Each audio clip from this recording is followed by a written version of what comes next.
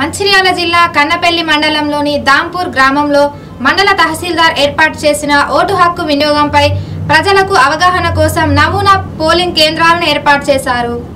ఈ కార్యక్రమంలో MRO deputy MRO ఇతర అధికారులు కలిసి ఈవీఎంలతో పాటు వివి ప్యాట్ల గురించి ఓటర్లకు వివరించారు.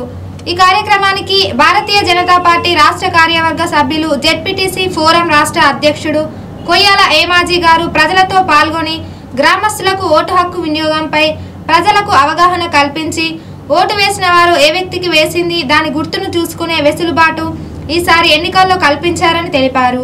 ప్రజలకు వీటిలో ఏమైనా అనుమానాలుంటే వాటిని వృత్తి చేసుకోవచ్చని పేర్కొన్నారు.